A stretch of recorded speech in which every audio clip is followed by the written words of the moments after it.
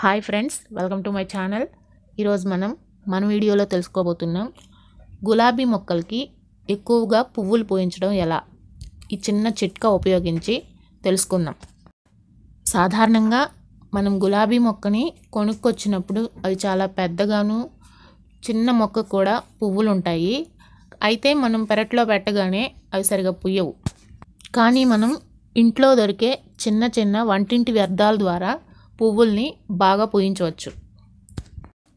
అందులో గులాబీ మొక్కలకి బాగా ఉపయోగపడే వంటింటి వ్యర్థం ముఖ్యమైంది. మనం రోజు టీ తాగుతాం కదా ఆ టీ డికాక్షన్ వడగొట్టిన తర్వాత ఆ పిప్పిని మనం వేస్ట్గా పారేస్తూ ఉంటాం.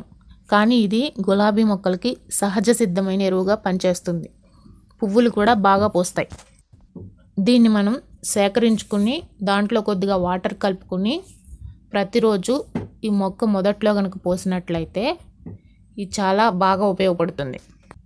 ఈ విధంగా ప్రతిరోజు పోస్తూ ఉంటే అది చక్కగా చిగురు వస్తుంది మావి చిగురు రంగులో ఉంది చూసారా చిగురు? అలా కనుక చిగురు వస్తే మొత్తం పువ్వులు వస్తాయి మొగ్గ కూడా వస్తుంది చూడండి. ఇప్పుడిప్పుడే ఇలా చిగురు వచ్చి చక్కగా పువ్వులు వస్తాయి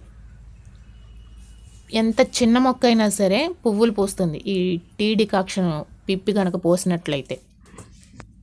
ఇది కేవలం ఒక చిన్న చిట్కా మాత్రమే. ఇంకా ఈ వంటింటి వ్యర్థాలకు సంబంధించి చాలా ఉపయోగకరమైనవి ఉన్నాయి. అవి మనం నెక్స్ట్ వీడియోలో చూద్దాం. అయితే ఈ పువ్వులు పూయడం అయిపోయిన తర్వాత వీటి కొమ్మల్ని సేకరించి వీటి ద్వారా మొక్కలు ఎలా పెంచుకోవచ్చో తర్వాత వీడియోలో చూద్దాం. ఈరోజు మన వీడియో ఇది. ఈ వీడియో మీకు నచ్చినట్లయితే లైక్ చేయండి షేర్ చేయండి. ఇలాంటి వీడియోస్ మరిన్ని చూడాలంటే వెంటనే మా ఛానల్ని సబ్స్క్రైబ్ చేసుకోండి. మరోసారి మరో వీడియోతో మళ్ళీ కలుద్దాం.